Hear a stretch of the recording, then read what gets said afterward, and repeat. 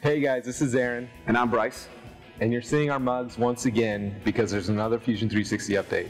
And in this update, we have a productivity enhancement. What do we got, Aaron? Well, uh, when you hit the S key on the keyboard, it's going to open up a toolbox.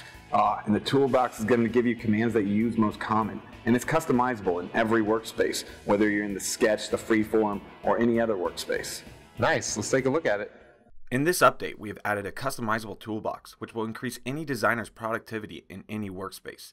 Simply by hitting the S key, we can activate the toolbox, which will place the box where your mouse is located. Once the toolbox is open, we can search for commands.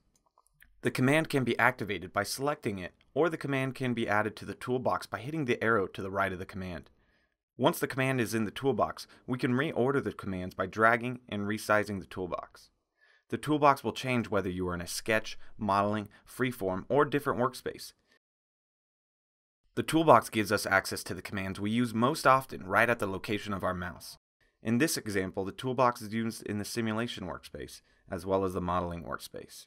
In addition, when I forget where certain commands are located that I seldomly use, I can use the toolbox to search for that command.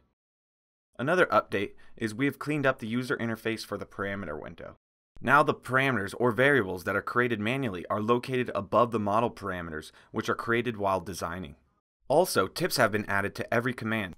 Select the eye when the command is activated. Now information on the command is located at the top, and tips can be expanded to give tips on how to use the command.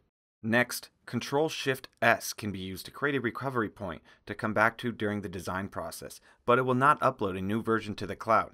Finally, when Fusion 360 is attempted to be closed while an upload is in progress, we are now given a progress bar for the upload process to the cloud.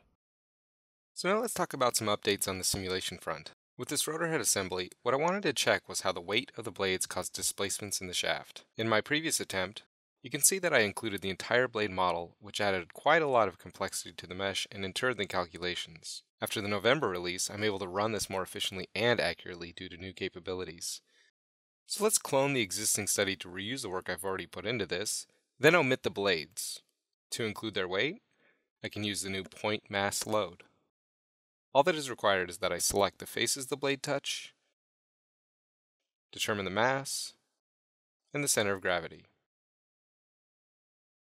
A mass without gravity won't have much effect, so that brings me to another new load consideration, gravity. Gravity can be applied in various directions and magnitudes, and the symbol display makes it simple to understand whether it's being applied properly. Solving this will only take a fraction of the time compared to the last run. And as I start to visualize the displacement results, you'll see another update. The results are viewable across the volume of these bodies. This is related to the volumetric meshing happening in the background. Definitely helps me see what's happening, but it also sets Fusion 360 up for other study types, like thermal studies. Hint hint. In the rendering environment, we have added several different types of physically correct wood appearances. These appearances are procedural appearances that will update correctly when geometry is changed. We have added different appearances for finished, unfinished, painted, and stained wood. For each individual appearance, we are given control over grain direction, rings, rays, bumps, pores, and colors. We can also use texture mapping control to change where the end grain is located. Notice as I rotate the triad around, the grain travels through the faces. This would usually take expert control to match the grain across multiple faces. Now let's take a look as we render this wood appearance. Also in the rendering environment, we can also flatten the ground. This will take the spherical HDR image and flatten the ground, which turns the HDR image into a hemispherical environment. Previously, it was difficult to have your design appear like it was sitting on the floor. Now, with the flattened ground option, we can lock the environment to the ground. Once the ground is flattened, we can alter the location and scale of the environment to better meet the size of our model. These options in the rendering environment will help achieve a more realistic image. Man, did you guys see that wood appearance? I think can make anything look realistic. Yeah, it's crazy how it follows every little nook and cranny of the model. Yeah, when you make design changes or chamfers or fillets, it's going to go across all those faces. It's pretty impressive. Yeah. Uh, so what's up next? We got drawings coming up next. We're going to see a single dimensioning tool and GD&T. Sweet, let's check it out. Now let's make a couple drawings from this rotor head assembly and show you just some of the Idea Station generated updates we've incorporated in the November update. We'll start with the drawing for this vertical support, and by talking about one new option you'll find. The new option is the ability to hide or show trailing zeros. This will enable you to control exactly what you're after, whether that be to indicate a number of significant figures for measurement purposes or to simplify the view. That said, adding dimensions has never been easier. For my toolbox, you'll see me selecting to use the new Single Dimension tool. This tool can add diameter and radius dimensions, linear dimensions, aligned dimensions, angular dimensions. It's dependent on what you select, and now I can rapidly add multiple dimension types from one tool. Our GD&T capabilities took a major leap forward with the addition of datum identifiers and feature control frame symbols. This crucial information will help ensure this vertical support is made and inspected properly. With that almost done, let's jump into another portion of this design, the swash plate.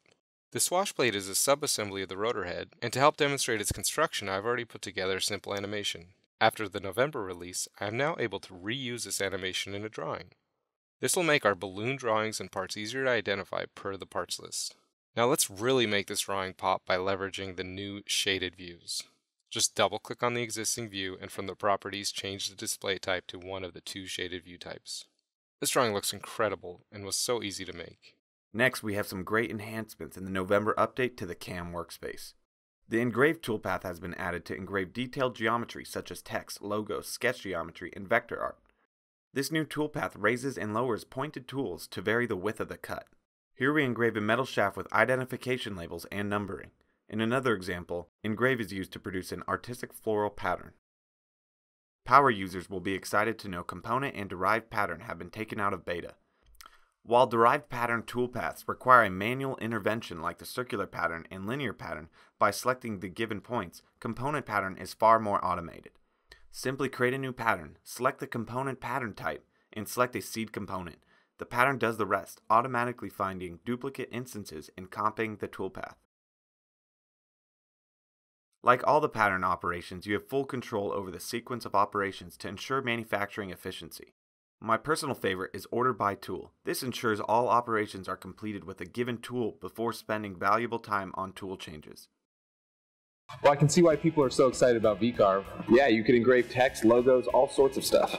Well, thanks for attending today, guys. Uh, we want to give a shout out to Greg, who made that model that you were seeing us. It's in the gallery. Check it out. It's so detailed. It's insane. Also, check out our YouTube channel for some quick tips. All of them will make you design faster. Cool. Well, thanks again. Have a great week. Until next time.